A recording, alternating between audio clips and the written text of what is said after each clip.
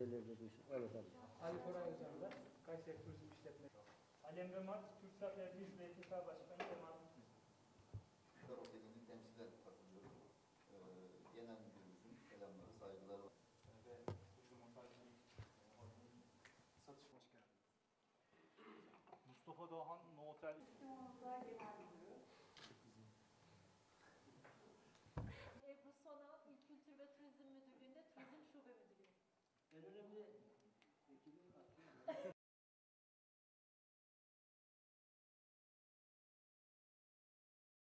Kayserimiz önemli. Erciyesimiz ayrı bir önemli. Bununla ilgili daha fazla söz söylemeye gerek yok. Çok şükür kamuoyu da biliyor, dünya da biliyor ki uluslararası standartlara sahip olan bir Erciyes projesi var. Bu projeyi biz daha fazla tanıtıp insanlığın faydasına şehrimize kazanım sağlayacak, buradaki katma değeri, buradaki döviz girdisini artıracak çalışmalara yönelik nasıl bir gayret içerisinde olurum? Çabası içerisindeyiz. Eksiklerimizi biliyoruz. Giderme yönünde Kayseri Büyükşehir Belediyesi olarak gayret gösteriyoruz. Ve epeyce de mesafe aldığımıza inanıyoruz. Türkiye'de Kayseri, Erciyes bu işin olmazsa olmazı. Şimdi uluslararası standartlarda olan bir yapı ve ortam ama bunun bazı eksikleri var. Bunu giderme yönünde de biz siz yatırımcılardan destek bekliyoruz. Örneğin daha önce buradan arsa alıp yatırım yapacağım diyen dostlarımızı uyarmaya devam ediyoruz.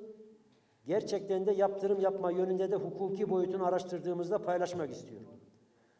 Amacımız burada daha fazla yatırımcının olması, daha fazla yatak sayısının olması, bu şehrimizin gerçekten adeta çığ gibi büyüyen potansiyeline altyapı oluşturmak.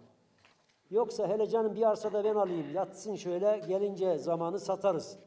Böyle bir anlayış burada geçerli bir anlayış olamaz, olmamalı.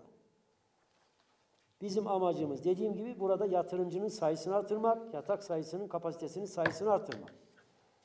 Elbette şehir merkezinde de aynı beklenti içerisindeyiz ama buraya özgü olarak çıkarttığımız 21 tane parselin satılıp şu anda hak sahiplerinin elinde olup halen daha bir kısmının yapılmıyor olması bizler ister istemez değerlendirmeye tabi tutuyor. Yeni yatırımları duydunuz. Biz kendilerine teşekkür ediyoruz. Kayseri Büyükşehir Belediyesi olarak üzerimize ne düşüyorsa her türlü desteğe vermeye hazır olduğumuz buradan paylaşmak istiyoruz. Yatırımcılarımıza özellikle her türlü desteğe vereceğiz. Hiç kimse e, mazerete sığınmayacak. Hiç kimse ya görüyor musun demeyecek. Niye? Bizim amacımız üzüm yemek.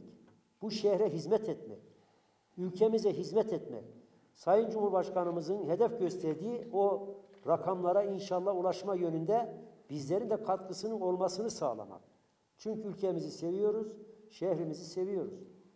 Çok şükür bu manada da epeyce mesafe alınmış idi.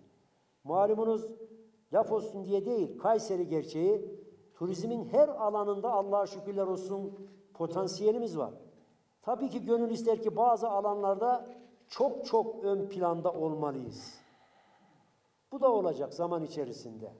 Ama bir eksik var, bir gerekçeye sığınma mantığı içerisinde sizlerin şevkini kıracak hiçbir davranışa ve anlayışa inşallah fırsat vermeyeceğiz.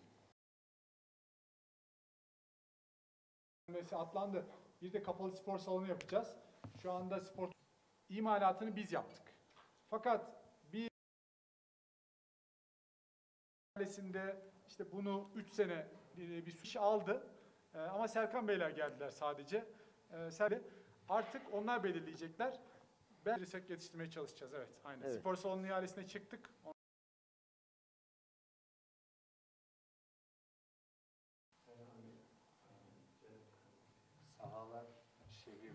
Yani siz otellere de teklif gelirse takımlardan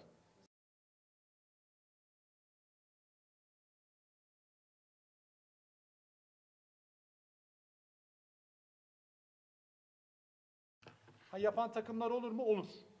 Fakat bu işi bilen Planlama yapıyoruz. Oyunlarımız tekrardan başlayacak.